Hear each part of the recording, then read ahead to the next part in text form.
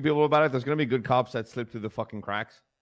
Yeah, that just that was that was my concern. That like, um, it, it felt like some, especially in the early on stages, it really felt like it was whoever was around the most would have the highest potential of getting picked up, and then, but I mean, there are outliers, and then, yeah, I am a little worried that there are some great cops who are to be sent to the wayside, um, and then we're left with some questionable uh, cops left. But we've like yeah, dude. Yesterday when you were on duty for shift two, eight cops.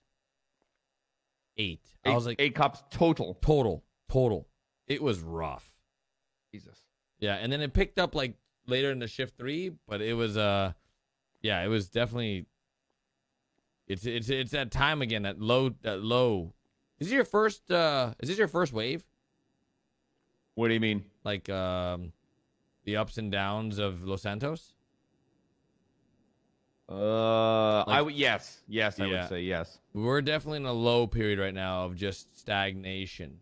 And uh, Uh, yeah, I would say from someone that's been like, eh, eh, I don't know how to word this while we're in the city, but with any, uh, you know, um, community, uh, there are highs and lows in every single community. It's, True.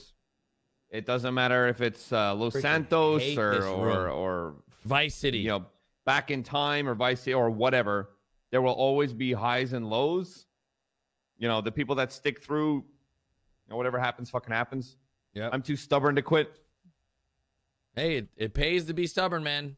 all right god i'm just stuck man i'm just trying to have a good time that's fucking whatever That's- fucking happens happens Exactly. All right, bro. I appreciate you as always. It's always been a pleasure rolling with you and interacting with you. I'm gonna change up and thank you again for coming on duty to speak to me. yeah no worries Appreciate you, man. thank Uh, you. hugs and kisses Mm. Don't forget about this man All right. By the way, I turned down a trooper uh, job to be an LSPDA. you turned down a trooper job Yep. I, I I got the go ahead to be a trooper, guys. Uh, I got the blessing, and uh, I turned it down uh, by accepting LSPD. I feel that my character is best suited in LSPD because he's always been in LSPD, and I feel that um, once I am more um, like playing Garry Berry, and I and, and I am to a level where Bass uh, feels comfortable with me in within the ranks of troopers, then I will gladly join. But um, I don't feel comfortable. Uh, it's one of those things like don't go if you're not invited type of thing. You never you ever heard that saying where like let's say your friends uh, go to an event but they don't invite you and then you have to ask for an invite.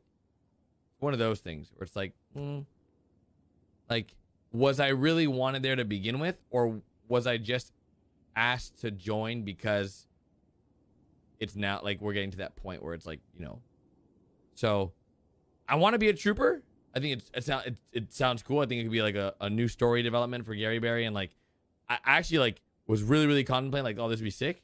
But then I thought like, I talked to Sweets and I was because I had shown an interest in Sweets and I was like, hey, like, you know, where are we at? And uh, you know, uh, they they allowed me back in back home, so thought that was cool. Thought that was cool. So pretty content with it. I gotta figure out what the LSPD stuff is now.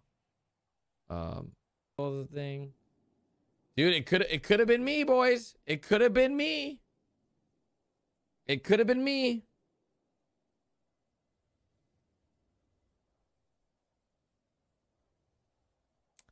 I I just don't listen. Don't know.